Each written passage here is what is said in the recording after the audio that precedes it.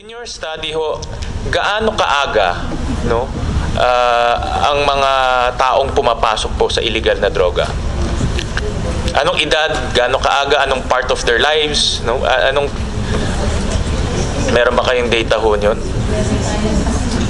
We have facility-based data, Mr. Chair, as young as 6 years old, meron na pong gumagamit. As young as 6 years old, Yung pumapasok. mga rugby, yung mga toluene abusers, uh, Mr. Chair. Rugby siya. rugby- Sa Shabu, Sandali, ah, yung anim na taon na nag-rugby, ano yung binibigay ng magulang para siguro hindi magutom? Or That's the assumption, uh, Madam Chair. ah, ito ba'y dinudulog nyo o binibigay nyo yung ah, impormasyon at kung sino sila para matulungan ng DSWD?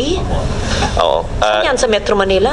In- yes, ma'am. In fact, uh, Good. kasama po sila sa DSWD uh, project. Ang first in- first contact po kasi pag ganyang uh, minors, talagang DSWD po. And they have a separate faci- facility, Madam uh, Chair, dyan po sa treatment and rehab center natin sa Campagon Diwa. your, from your experience, ah, yung pinakamaagang edad na, na pumapasok po sa Shabu?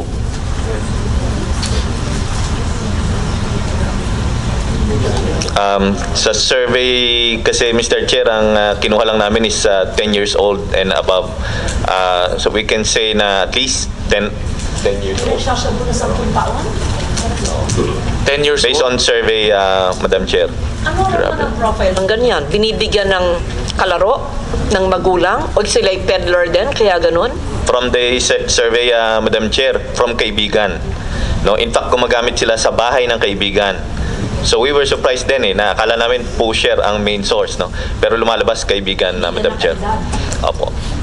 Eh, ito po, uh, Secretary, yung mga nag-surrender, do we, did we profile this 600,000 plus who surrendered? Anong po yung pinag-aralan nila? May trabaho ba sila? May, do we, do we have those information?